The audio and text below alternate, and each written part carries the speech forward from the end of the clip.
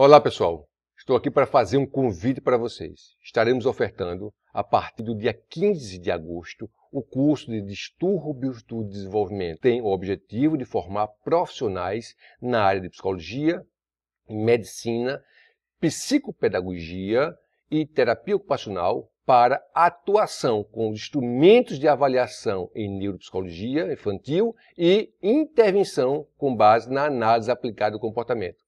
Esse curso tem cinco meses de duração, são cinco módulos, onde vocês aprenderão um conjunto de instrumentos neuropsicológicos para o diagnóstico do transtorno do neurodesenvolvimento.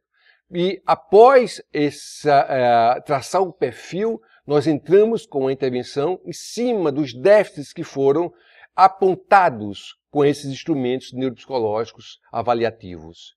Estou deixando o telefone de contato para quem tiver interesse em reservar sua vaga e também podem fazer a inscrição diretamente no site www.escoladegestalt.org. Esperamos vocês!